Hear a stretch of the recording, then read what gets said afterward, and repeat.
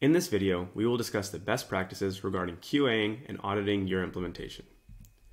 As a best practice, we recommend always creating two separate projects when first implementing Mixpanel, a development project and a production project. Before pushing any data to your production project, it is always best practice to first QA the data in your dev environment.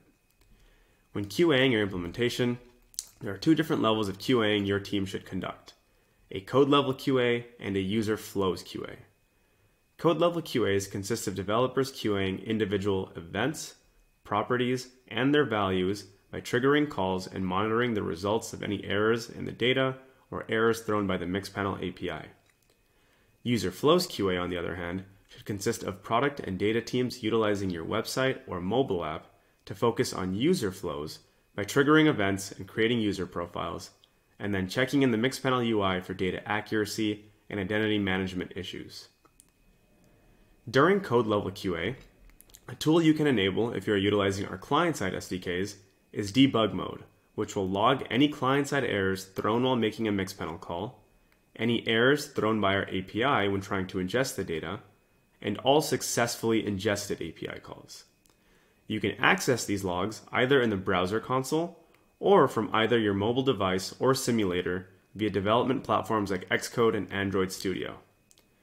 Please refer to the SDK documentation for more information on how to enable debug mode for the specific SDK you have implemented with. At the bottom, you will see two images here. These are examples of the logs that are created by debug mode in our JavaScript SDK. If you are not utilizing our client-side SDKs, your dev team should include code to handle error responses thrown by our APIs. An example would be utilizing code to retry events with an exponential backoff when receiving a 429 rate limited error response. Another helpful tool that can be utilized at both code level and user flows QA is the events report in the Mixpanel UI. You can utilize the events report to see events as they flow into your Mixpanel project, as well as the properties attached to those events to identify any tracking discrepancies. You can also enable JSON mode on the events to see the raw structure of the underlying data being ingested into Mixpanel.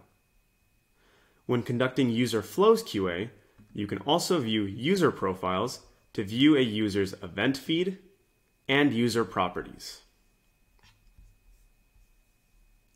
From this view, you can examine the identity cluster to see all the distinct IDs linked to the user, search and validate all user properties and their values, Use the activity feed to search through all events with the most recent one listed at the top. Adjust the date range or hide certain events for easier troubleshooting.